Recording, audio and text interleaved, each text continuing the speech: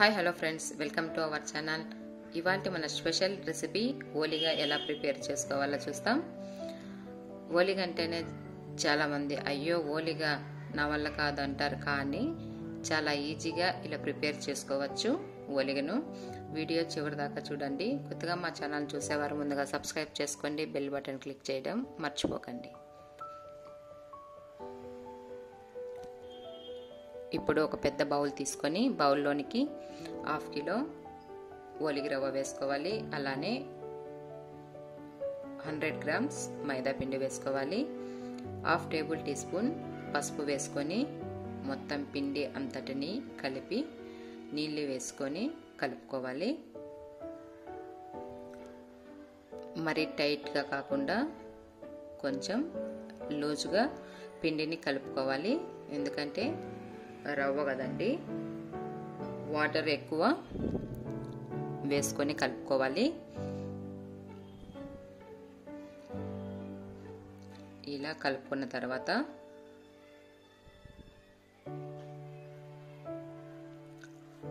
ఇప్పుడు మనం కొద్దిగా పైన ఆయిల్ వేసి మొత్తం ఆయిల్ పిండిని కలుపుతూ ఐదు నిమిషాల పాటు అలా కలుపుతూనే ఉండాలి.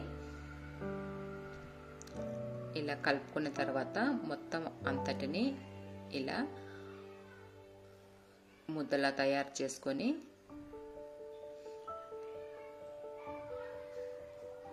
కాటన్ క్లాత్ వాటర్లో తడిపి మనం వీటి మీద వేసుకోవాలి. అలానే ప్లేట్ పెట్టి ఒక గంట రెండు గంటల పాటు అలానే ఉంచండి. ఇప్పుడు మనం పూర్ణం రెడీ చేసుకుందాం. కుక్కర్ తీసుకొని త్రీ కప్స్ శనగపప్పుకు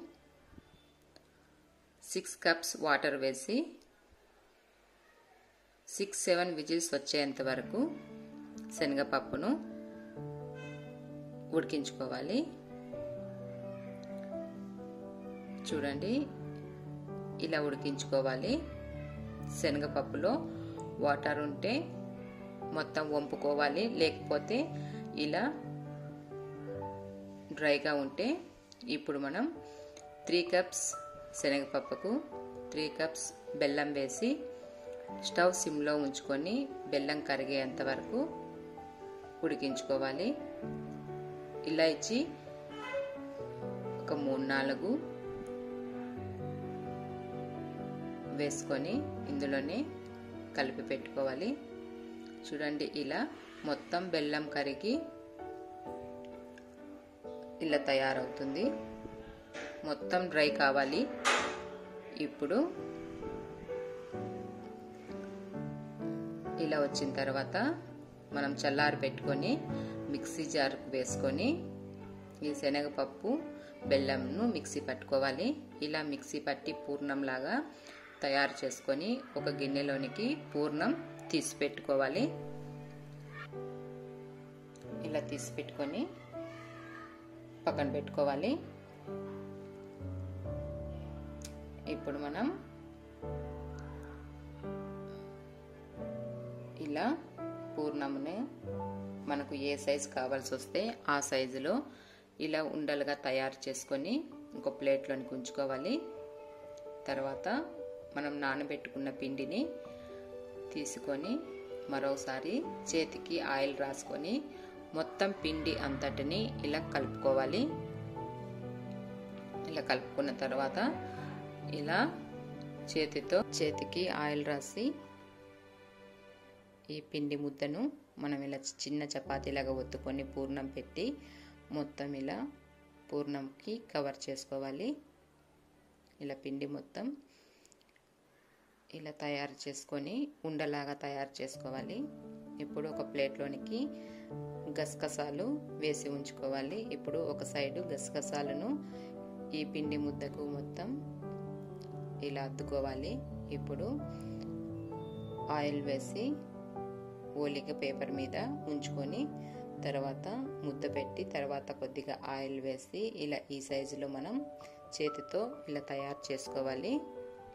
ఇప్పుడు ఇలా పైన ఇంకొక కవర్ వేసుకొని చేతితో మొత్తం ఇలా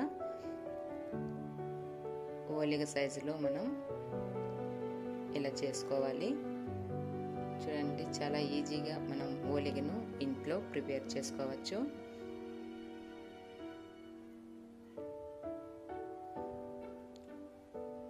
ఇలా చేసుకున్న తర్వాత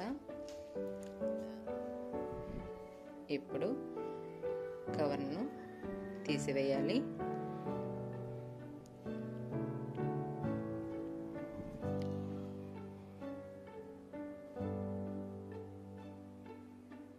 కవర్ తీసిన తర్వాత మెల్లిగా ఇలా పెనం మీడియం ఫ్లేమ్ ఉంచుకొని ఇలా పెనంలోనికి ఇలా వేసుకొని కాల్చుకోవాలి.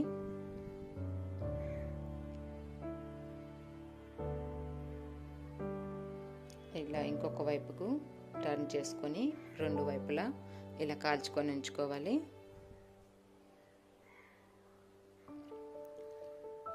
చూడండి ఫ్రెండ్స్ ఎంతో ఈజీగా టేస్టీగా ఓలీగా ready friends thank you for watching